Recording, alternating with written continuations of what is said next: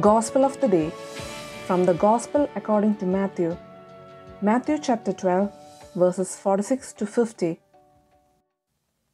While Jesus was speaking to the crowds, his mother and his brothers appeared outside, wishing to speak with him.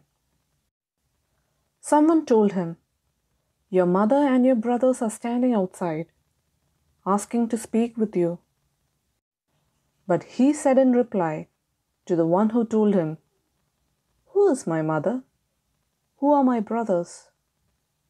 And stretching out his hand toward his disciples, he said, Here are my mother and my brothers. For whoever does the will of my heavenly Father is my brother and sister and mother.